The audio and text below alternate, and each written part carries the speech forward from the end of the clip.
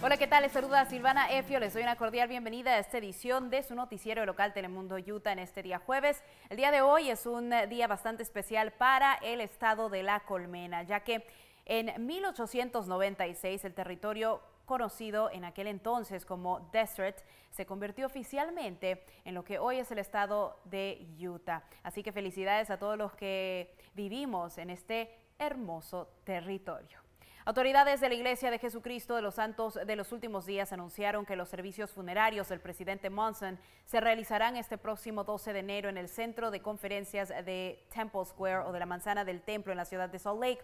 La ceremonia estará abierta al público en general para personas de 8 años de edad en adelante. Aquellos que deseen acudir al funeral deberán estar en sus asientos a más tardar las 11 y media de la mañana. Un evento para que el público pueda despedirse del presidente. Este se realizará un día antes, el 11 de enero, desde las 9 de la mañana hasta las 8 de la noche en el mismo centro y estará disponible para personas de todas las edades. Luego de los servicios funerarios, el entierro se realizará de forma privada en el cementerio de Salt Lake.